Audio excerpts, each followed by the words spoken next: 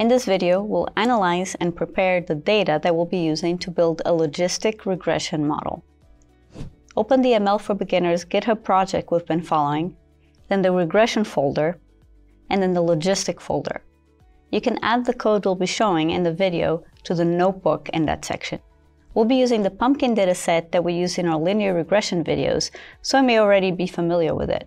Our eventual goal is to predict if a pumpkin is orange or white based on other features in the dataset.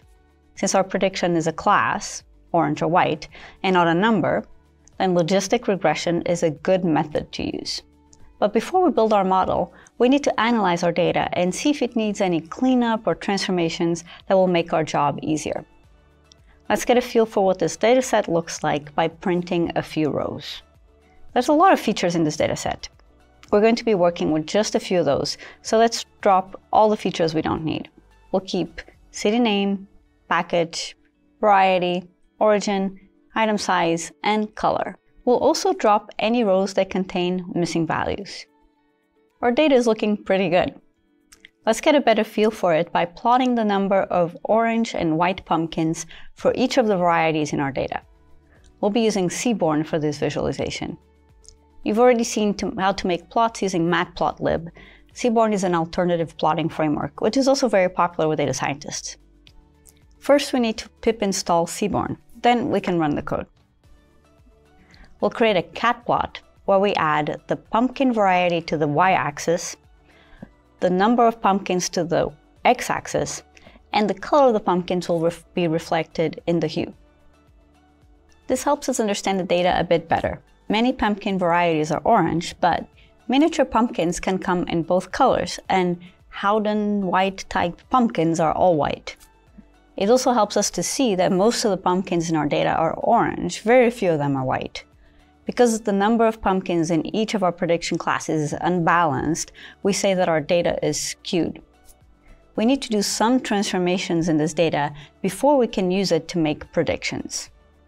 A lot of our data is represented as strings, but the logistic regression algorithm requires numerical data. We talked about categorical features in a previous video. Watching that video will help you get a better understanding of the transformations we'll be doing. In that video, you'll learn how categorical features can be transformed into numerical values using one-hot vectors. One-hot vectors are great when the different categories in the feature don't have an implied order. But sometimes categories do have an implied order, and for those scenarios, we can simply replace the strings with increasing numbers.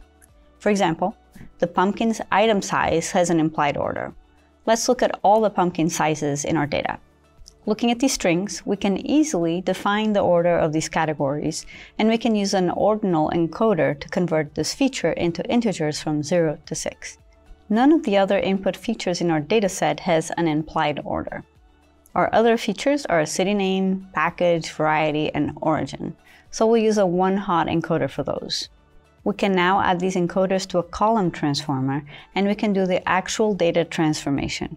We set the output to pandas, to ensure we get a pandas data frame back. If we look at our data now, we see that the item size column was replaced by numbers from 0 to 6. We also see that, for example, the city feature was split into several one-hot vector columns, one for each city in the data. Next, we need to do a similar transformation for our label, the pumpkin color. The column contains the strings orange and white, and we want to replace them with the numbers 0 and 1. We can use a label encoder class for that. Let's make sure that we got our transformation right.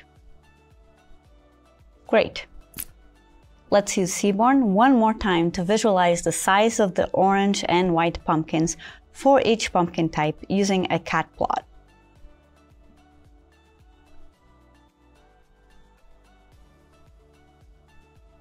We can also use a swarm plot to understand the relationship between item size and color. I think our data is in pretty good shape now, and we're ready to build a logistic regression model that predicts pumpkin color based on other features. Watch our next video to find out how.